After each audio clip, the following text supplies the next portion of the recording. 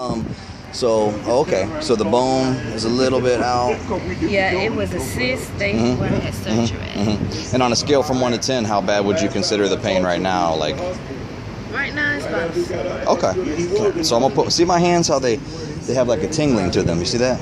That's the power of God coming through my hand. So I'm gonna put my hand right there. Now be very aware of what you feel when I touch it. You might close your eyes because it'll help to relax you.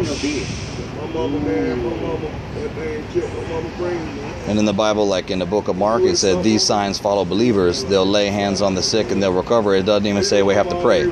So do you feel like a tingling on your hand? It's yeah, it's like moving. It's like moving the bone too. Okay, watch.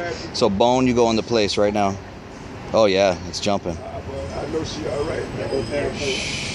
Bone, go into place right now. Go into place right now.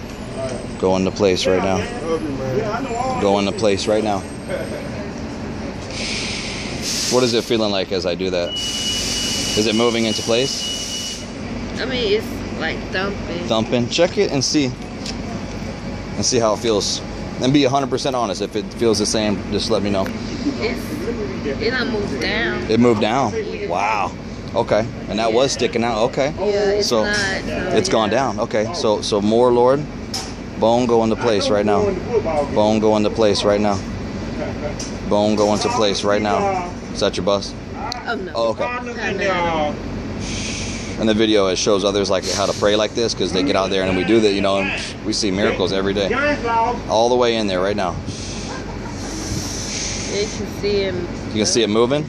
Wow. What do you think? of Is that crazy or what? Yeah. I'm not magic. I mean, I be seeing it on TV. When Oh, you've seen it. Okay. Right. Yeah. Okay. Neat. It's going into place, huh? Bone go into place right now, all the way. How much better is it? Is it because it's going to be 100? hurting. It's not hurting, and it was a four. Yeah, and cause like when I move it, it's not popping. It's not popping out, and it used to pop out of place. Wow. Let me let me hit this bad boy one more time. So right now, in the name of Jesus Christ, I command that bone to go into place right now.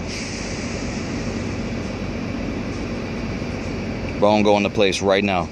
Shift, shift, shift right now, all the way, all the way. Check that. Because I want you to walk off out of here with it all the way. It Actually, look. Wow. Yeah, like you really can't tell. You really can't tell. Uh-huh. Let me let me uh Cause I like see it usually you usually can tell like when I do like that. Uh huh.